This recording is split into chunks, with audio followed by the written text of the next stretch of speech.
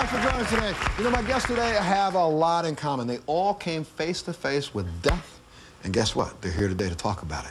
Now, my first guest says a simple drive to work turned into a tragic ooh, accident in just the blink of an eye. Take a look at this. It was on March 19th. It was a Monday. I was on my way to work. I had uh, just dropped my daughter off to my mom's and was heading on I-15.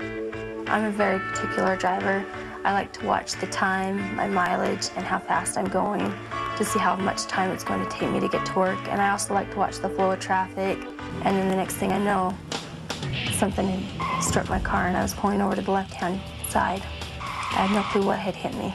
I looked to my left and a gentleman had opened up my car door and said, you need to hold still. And then I turned and looked and the window had a great big hole and was shattered. And my airbags didn't go off. I had my seatbelt on. I was in so much shock. I didn't realize what had happened to me. You're coming out of this slight blackout for a second, right? Right. Somebody's talking to you. Uh, what are you saying, right? Yeah. And then he was going, ma'am, don't move.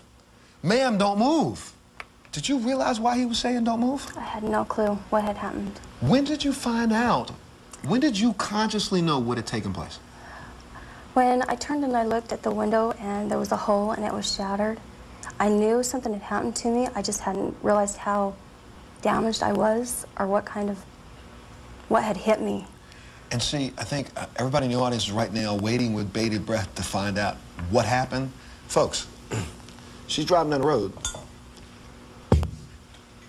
A pipe about this width and about eight or nine feet longer than this went right through the window of her car, right through your face, through it and into the seat.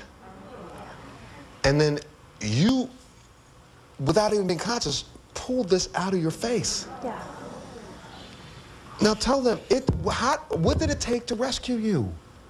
Find out. It took a lot of paramedics, the police. The jaws of life, they had to cut the, jaws roof of off the car. Yeah. You pulling you up out of here, but still, at this point in time, do you have any idea that this was thinking through your head? No. Uh, No.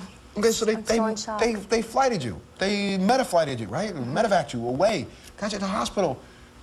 When did when were you told anything? When did when did you know? Not until after multiple operations, right? Yeah, well, and they kept telling me at the hospital, and I was still in so much shock. They kept repeating themselves, and I kept asking them, no, no airbags, no, you know, my, I had my seatbelt on tight.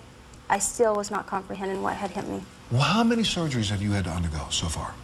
Um, I've had the one to sew me up first thing when I got there to stop the bleeding, and then I had two after that, and then I've also had three on the back of my neck. Because let's go again. This went through your face, through your neck, came out right here by your shoulder. Had it been what, two millimeters further? Yep. To the right, what would have happened? I'd have been dead. It hit a carotid artery. She'd have been dead on, on the spot. Yeah. What, ah, God, girlfriend? What is your, what has the recovery been like for you? It's been very long to me and very hard. How tough has this been on your family? My kids don't want to let, they don't want me to leave them. They've been really clingy. My whole family's been that way, my mom, my dad. It's been hard on the kids. It's been a total life change. When you see yourself now in the mirror, now I looking at you, other than I know that you have a little nerve damage, that right now I hope that the nerves are regenerating so you will eventually get full use of the side of your face or that will come back. But when you look at yourself, do you see any difference? Because I swear to you, right now, I, you walked in my door and said, I just had this sticking in my face. I say, no, you didn't. So do you, what do you see, though, when you look? I have a hard time with it. Do you? Because you also see the fact that the nerves are not working. I have a hard time looking at pictures. My son found a picture the other day, and he said, Mom, it's been a long time since I've seen you really smile. I can't smile anymore, Adam. I have a hard time with that. I love to smile. You know, now, now, do you know if, did you ever get a chance to talk to that doctor who performed all the surgery on you, Dr. Walker? Yes. If it were not for him, you wouldn't be here today. Yes. Please welcome Dr. Creighton Walker to the show. Come on, Dr. Walker. Oh, you sir. Thank you so much for being here today. Honestly, sit down. Talk to us for a second about this, because this had to be, first off, she's, this shattered everything on this side of her face. Cheekbone, eye socket, everything. The rod went through her face right here and fractured all the bones around her eye. Mm-hmm. And then it went through the top jaw and fractured all the top jaw. And then it went through here and fractured all of the lower jaw on this left side.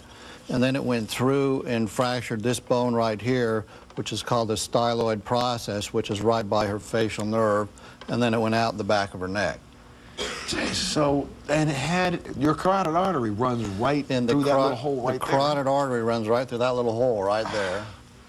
And uh, if that rod had been one to two millimeters more inside her head, it would have transected the carotid artery and she would have died at the scene. What did you want to say to the doctor? Do you want to tell him anything publicly? I think he's the most awesome man in the world. I appreciate everything he's done for me, and he's been there for me anytime I've needed him. He's there. Yes. Well, there you go. We need more doctors.